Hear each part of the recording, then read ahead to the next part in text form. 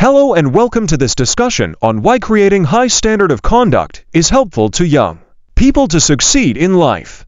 Creating high standard of conduct is the foundation of a positive and successful life.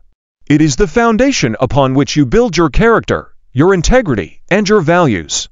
High standards help you to set goals for yourself and to work towards achieving them. It is the key to success in any field, whether it is academic, professional, or personal. There are numerous benefits to having high standards. Firstly, it helps you to stay focused on your goals.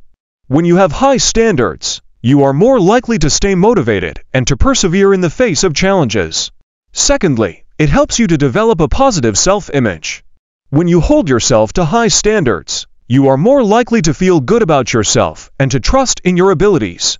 Thirdly, it helps you to become a better team player.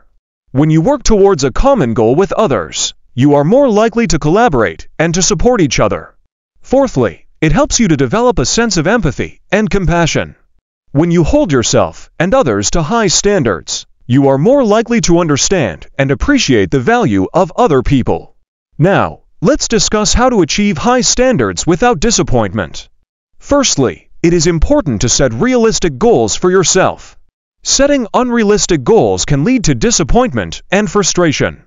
Secondly, it is important to learn from your mistakes. If you make a mistake, don't beat yourself up about it. Instead, use it as an opportunity to learn and to improve. Thirdly, it is important to surround yourself with positive influences.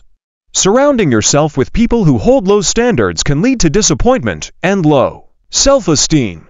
On the other hand, surrounding yourself with people who hold high standards can help you to stay motivated and to grow as a person.